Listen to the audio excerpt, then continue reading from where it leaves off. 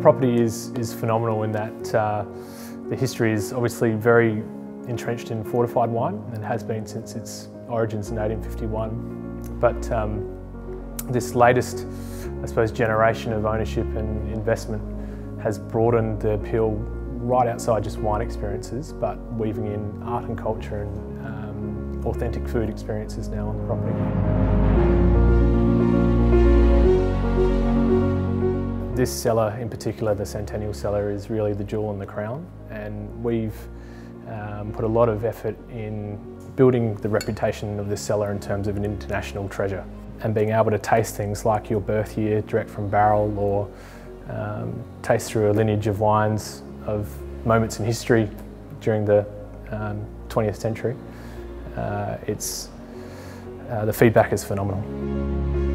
There's obviously a number of experiences that are dedicated in the Centennial Cellar itself in terms of tasting, but uh, we extend you know, quite far beyond that in the sense of food and wine pairings in Cellar Door that people can um, go through. And then the inclusion of, of Jam Factory uh, in itself, there's a, a number of um, workshops that people can do from knife making to uh, hat making and leather working, which again comes back to that village concept and the community making something on site through an artisan that based on site.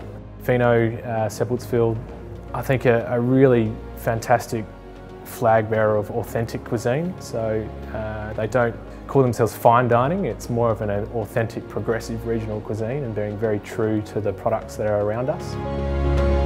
People are looking for a lot of different activities. People travelling in groups aren't all interested in the same thing. So, you know, it, that's about, uh, about lifestyle and experiences and, and that doesn't always include wine more than just a wine experience. It's something that people can really immerse themselves in and leave with a, a fantastic emotional connection to um, a property based on a number of different uh, flavours that people can get here.